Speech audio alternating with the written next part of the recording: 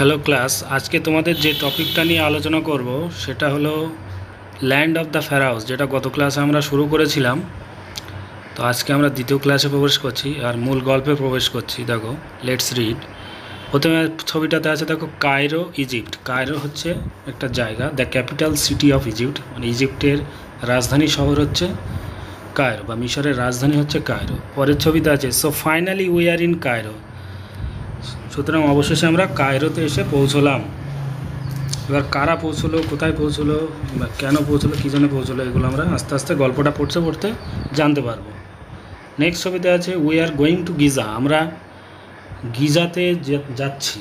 Giza একটা জায়গার নাম মিশরের। সেখানে আমরা যাচ্ছি। ঈশান, ঈশানকে বলল। ঈশান, দেখো, এখানে একটা ক্যারেক্টার খুঁজে পেলাম আমরা।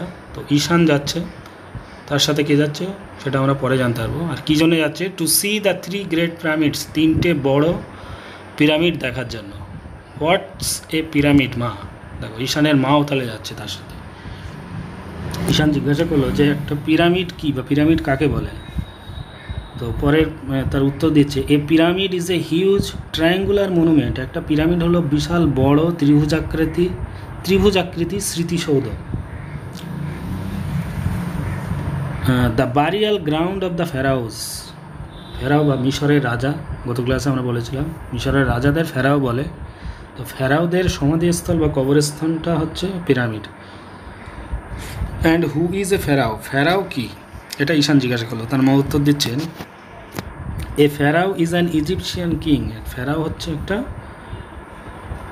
মিশরীয় রাজা বা মিশরের রাজাদের ফেরাও বলা হয়। The pharaohs lived around five thousand years ago ফেরাওরা বা মিশরীয় রাজারা প্রায় পাঁচ হাজার বছর আগে বাস করত। We are going to see so many interesting things Ishan বলছে, আমরা অনেক মজার জিনিস দেখতে চলেছি। দেখো, এখানে প্রেজেন্ট কন্টিনিউয়াস টেন্স কিন্তু ব্যবহার করা হচ্ছে ফিউচারে মানে ইমিডিয়েট ফিউচার তাৎক্ষণিক ভবিষ্যতেও কিন্তু ব্যবহার করা হচ্ছে। আমরা টেন্সের ক্লাসটাতে কিন্তু আমরা বলেছিলাম যে কোথায় কোথায় ব্যবহার করতে হয়। ভবিষ্যৎকালেও কিন্তু আমরা প্রেজেন্ট কন্টিনিউয়াস টেন্স ব্যবহার করি। তারপরে কি বলছে I wish father had come with us দেখো উইশ কথাটা কোথায় ব্যবহার হয়? ইংলিশ গ্রামারে দেখো বিভিন্ন রকম মোড আছে। Imperative mode interrogative mode subjunctive mode ঠিক আছে? তো এটা হচ্ছে একটা সাবজাংটিভ মোড সাবজাংটিভ মোড হচ্ছে যেটা বাস্তবে হওয়ার কোনো সম্ভাবনা নেই বা যার কোনো বাস্তবতা নেই। কারণ তারা গিয়েছে, কিন্তু তার বাবা তাদের সাথে আসেনি। কিন্তু ঈশান ভাবছে যে বাবা আসলে বা সেই ইচ্ছা প্রকাশ করছে বাবা আমাদের সাথে আসলে ভালো হতো। কিন্তু আদৌ সেটা সম্ভব নয়। তো বাস্তবে যেটা সম্ভব নয়, সেই ক্ষেত্রে উইশ কথাটা ব্যবহার করা হচ্ছে। যেমনটা বাংলায় এরকম বলে যে, আমি যদি পাখি হতাম তো আমি উঠতে পারতাম। তা আদৌ তো সেটা সম্ভব না। পাখি হওয়া সম্ভব না ওড়াও সম্ভব না। তো ওইগুলোকে বলা হয় সাবজাংটিভ মোড তারপরের ছবিতে দেখো, বলছে the prize I won at the singing competition singing competition মানে গানের প্রতিযোগিতায় যে প্রাইজটা আমি জিতেছিলাম entitled only to for a sponsor tour of Egypt তাতে শুধুমাত্র দুজনের মিশর বেড়ানোর খরচ দেওয়া হয়েছিল, মাত্র দুজনের। ওই জন্য তোর বাবা আসতে পারেনি। তারপরে কি বলছে your father wanted you and me to come তোমার বাবা চেয়েছিলেন যেন তুমি এবং আমি আসি। দ্যাট হোয়াটস দ্যাট মা? বলছে, এটা কী, মা?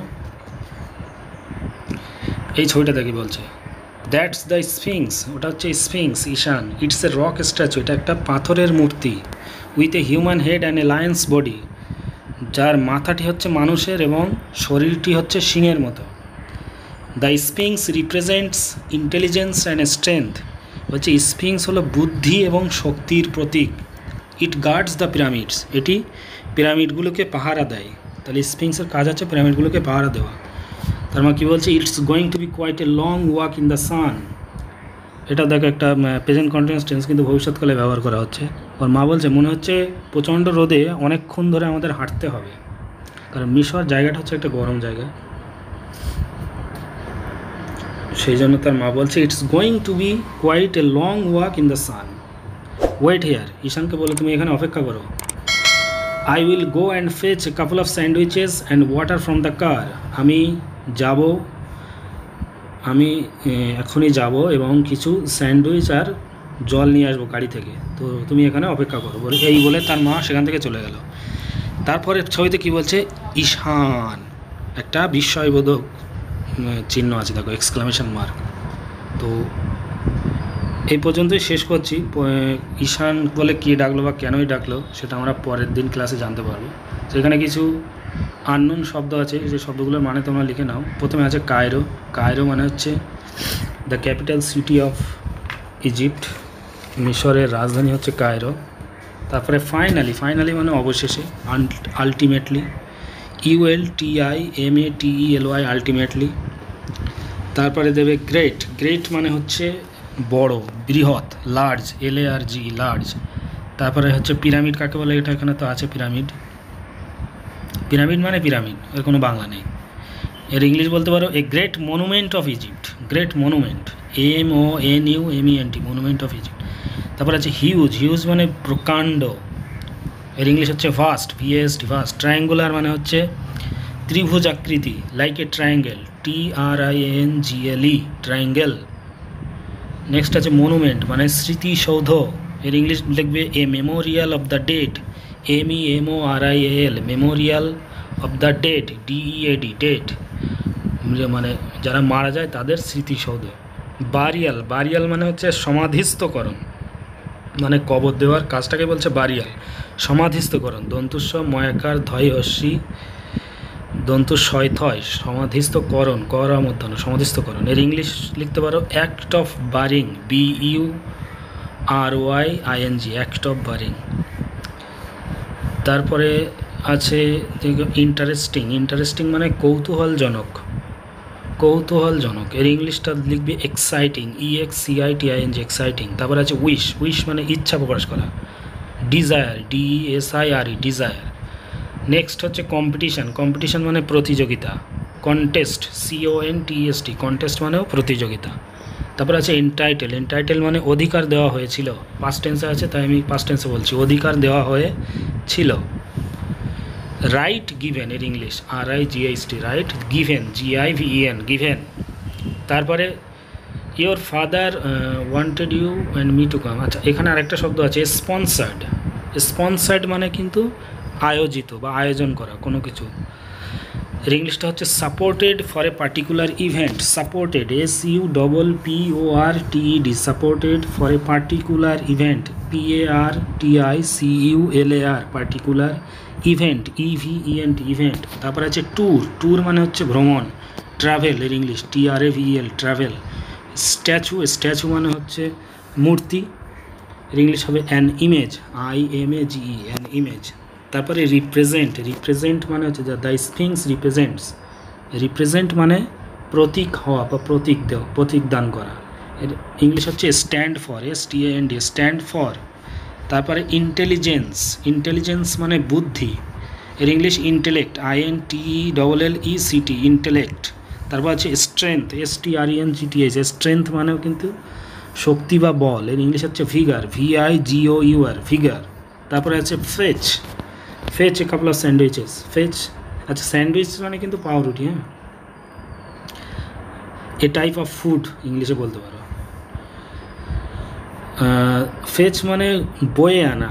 Go and bring G O go B R I N G bring go and bring so এই মানেগুলো লিখবে আর কিছু কোশ্চেন আছে, সেগুলো আমি বলে দিচ্ছি। এগুলো কোশ্চেনগুলো লিখে নাও। কোশ্চেনটা হচ্ছে what is the capital city of Egypt মিশরের রাজধানীর নাম কি? তারপরে why where Ishaan is going and why কোথায় ঈশান যাচ্ছে এবং কেন?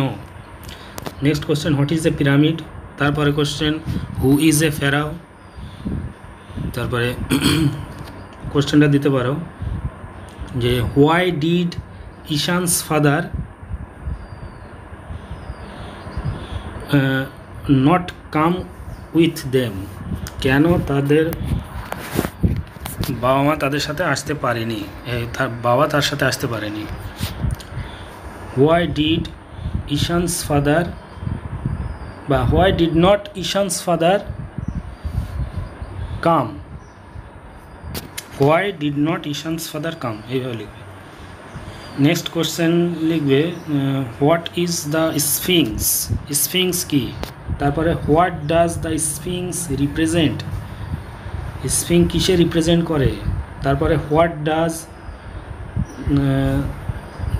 the sphinx do স্ফিংসের কাজটাই কি? নেক্সট কোশ্চেন লিখবে why